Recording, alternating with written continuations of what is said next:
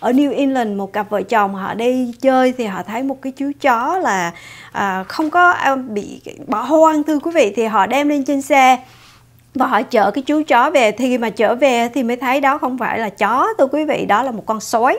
Nhỏ xíu thôi thưa quý vị đã trộn với con sói quý vị đã thấy trên màn hình. It's so cute and rất là dễ thương thưa quý vị. Thì theo cái bài đăng này ở trên Facebook của trung tâm động vật hoang dã ở New England và họ đã à, đưa ra cái bức ảnh này thưa quý vị thì gia đình này họ mới thấy đó là một cái chó sói. Thì gì họ cô họ gọi trung tâm động vật hoang dã ngay lập tức và họ đã à, cái trung tâm động vật hoang dã này họ thường thường là nuôi những cái con mà nó bị đi lạc những cái con động vật hoang dã bị đi lạc là gần tới 5.000 con lợn thưa quý vị.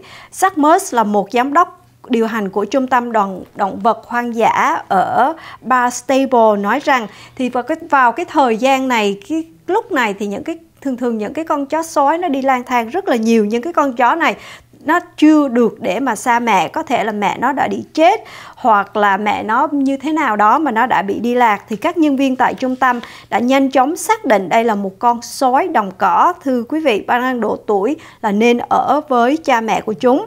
Nhưng mà cái nó chỉ mới được có 5 tới 6 tuần mà thôi.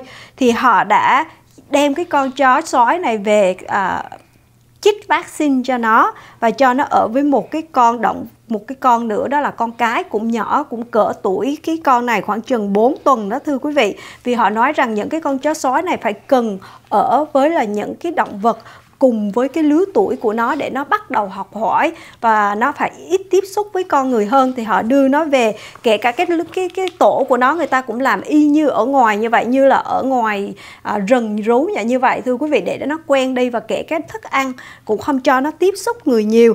Thì những người này họ nói rằng là nếu mà đi đâu nếu mà khi đi ngoài đường mà thấy những cái con vật này nó bị hoang nó bị lạc thì phải nhớ cô như, gọi những cái trung tâm động vật hoang dã này để họ tới họ đưa nó về và nuôi nó và họ nói rằng là khoảng chừng uh, nuôi nó khoảng chừng tới 6 tuần đó thưa quý vị rồi thả nó vô lại trong rừng Dạ vâng, cảm ơn chị, chị Như Hiền. À, con sói con rất là dễ thương ha. Uh-huh. Em rất là thích nuôi, thành ra là thấy thấy em thích mà thấy nuôi sói con. Thích nuôi.